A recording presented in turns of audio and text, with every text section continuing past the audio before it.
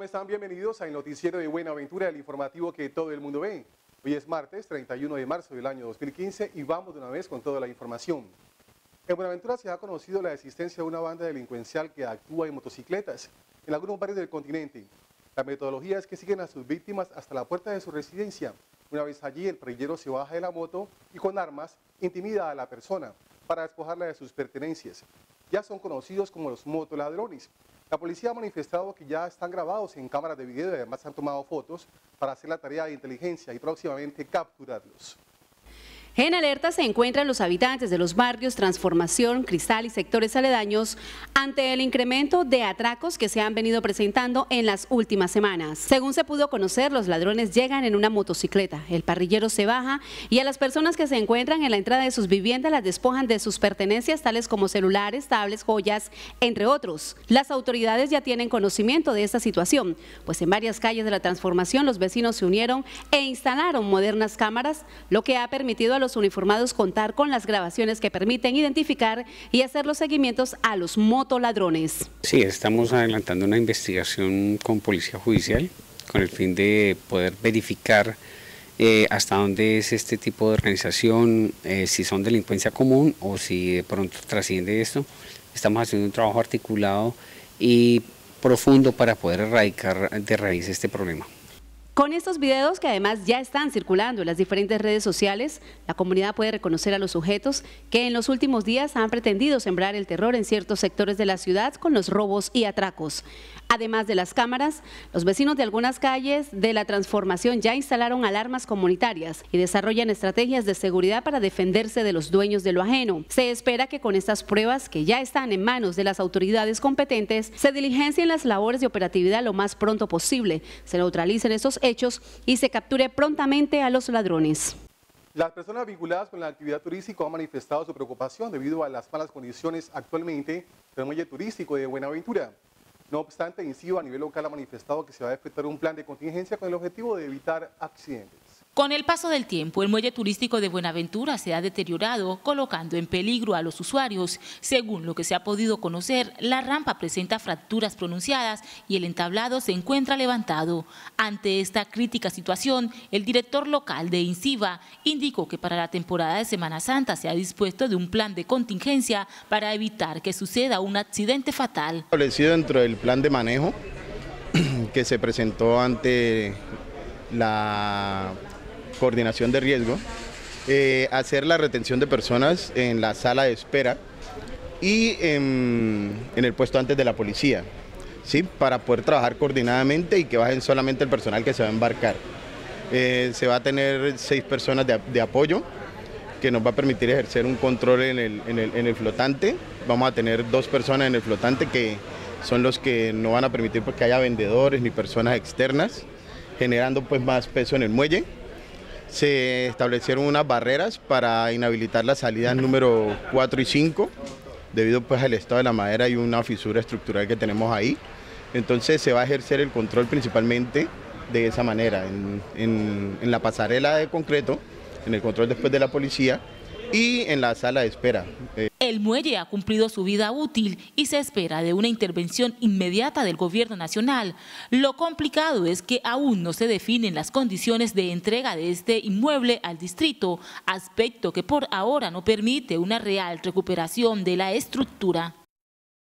Ante la fuga del desalmado que ya fue capturado por parte de la justicia, se ha originado un debate en torno a la seguridad en las cárceles del país.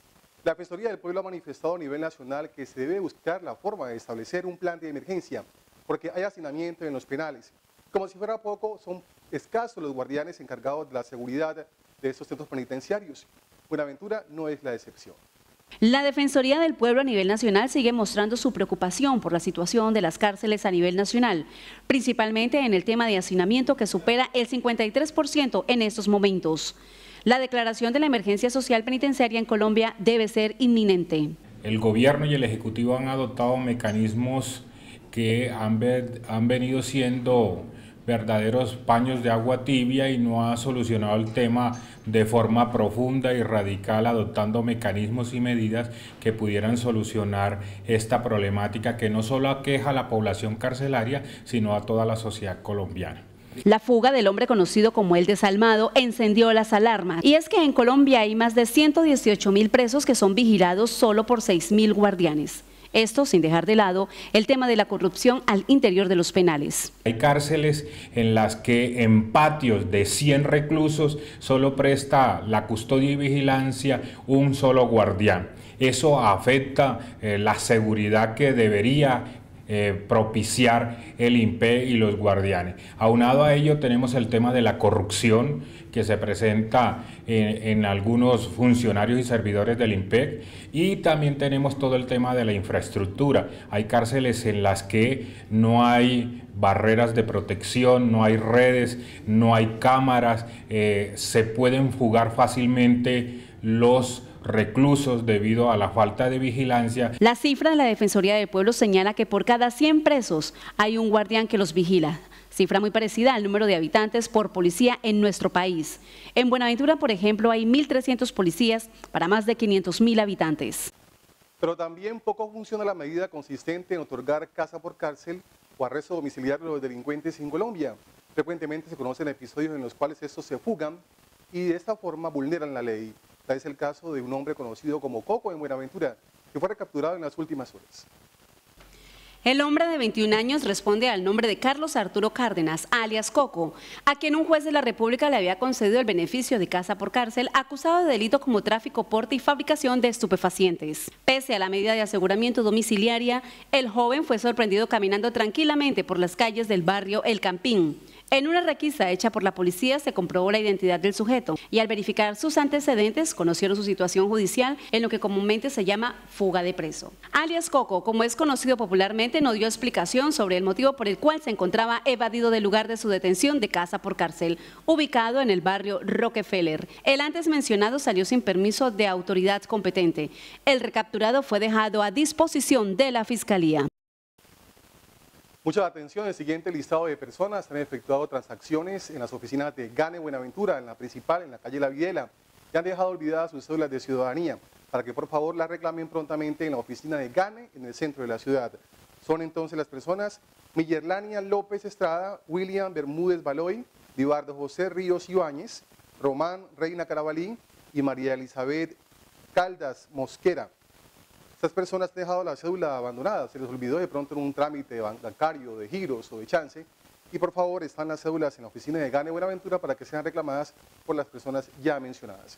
Más más del día en la ciudad, la policía capturó a un hombre que supuestamente está acusado de haber abusado sexualmente de una menor de edad en Buenaventura. Pero la captura del hombre de 50 años se produjo en el centro del valle, en el municipio de Tuluá. Hasta el municipio de Tuluá llegaron las unidades de investigación criminal SIGIN de la Policía Nacional para capturar un hombre de 50 años de edad, quien al parecer estaría comprometido en un caso de violación a una menor de 14 años en Buenaventura. El capturado responde al nombre de Walter García Ladino, solicitado por el Juzgado Tercero Penal Municipal con función de control de garantías constitucionales por el delito de acto sexual abusivo con menor de 14 años. La acción policial se realizó en plena vía pública del barrio La Esperanza del municipio de Tuluá. Por este hecho, el capturado fue dejado a disposición de la Fiscalía URI de turno.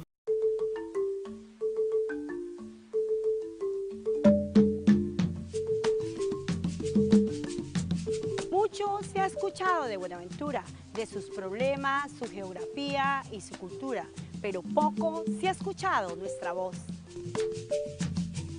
La voz de un pueblo que sabe luchar y construir futuro. La voz de un pueblo emprendedor que día a día trabaja por construir un mejor lugar. Soy Rosario Quiñones García. Al igual que ustedes, queremos hacer lo hecho en entidades como Confamar, piedra angular de progreso en un largo camino de transformación. Una Buenaventura educada, en paz y con equidad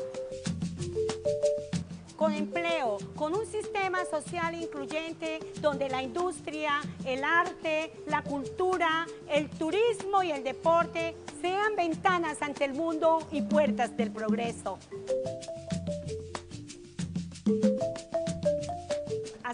puerto más importante de Colombia la casa de todos, hacer que los hijos de esta tierra que han puesto en alto nuestra bandera, ustedes y yo, con orgullo y dignidad, digamos, soy Buenaventura y Buenaventura eres tú.